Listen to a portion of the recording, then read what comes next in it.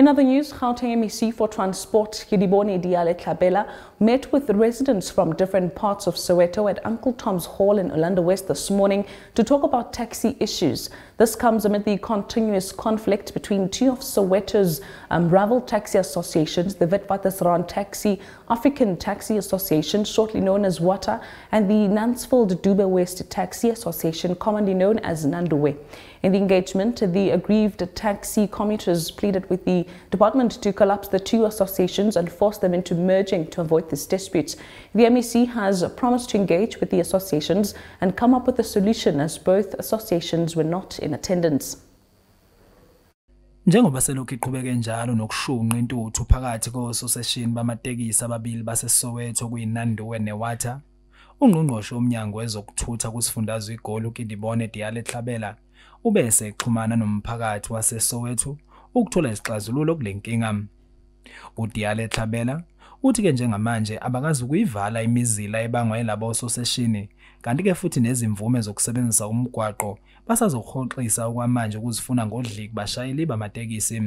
Uthi ke njengamanje basazoqhubeka bekhulumisane nabo labo ososeshini ukuze kutholakale isixazululo. We are determined to continue to consult with them. We said to them yesterday, the intention is the Gazette is still not published. We are willing, while we have put measures, safety measures in place, and while you continue to operate and make sure that you don't kill each other, if one person dies, I arrest you as chairpersons while we are sorting and doing the amendments and getting you to understand that Harisana choice, you must work together now.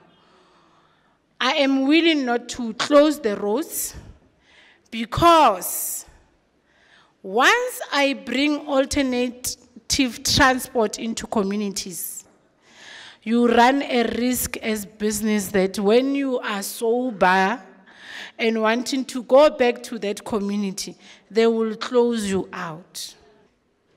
Ke ka fellwa ke. Ge ke bona borre ba le determined go tswella pele ka situation e ba mo go. But then we must show them that issues are not resolved through a barrel of a gun. There's too many lives that we have lost and we can no longer afford it. Abanye bezakhamuzi zaseSoweto bathi ke ungqongqoshe kufanele wachithe eqede inyanga labo soseshini ebese ke baphoqa ukuthi bengene ngaphansi kososeshini owodwa ukuze ke kugwemekele izingxabano eziqhubekayo ezigcina sesichaphakela kubagibeli. Solution e one kore le bakopanye basebetse ka head A1 um, one umbrella. Ngicela ukuthi ewe nenze umbrella eyodwa kasoseshini uma niyenzile le umbrella leyo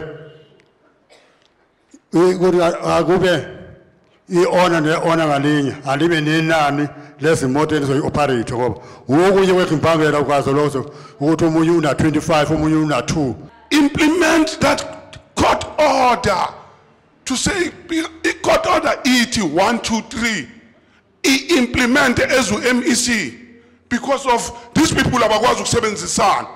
Isiphetho kwesikanqonqoshe nomphakathi kube ukuthi ke umnyango usazophinda wenze imizamo yokuhlalisa phansi labo ososeshini abayinkukhu nempaka ukubazisa ngeziphakamiso zomphakathi bese kutholakala umhlahlandlela. Ezindabeni zeSoweto TV kube komqondisi Miyeni eOrlando West.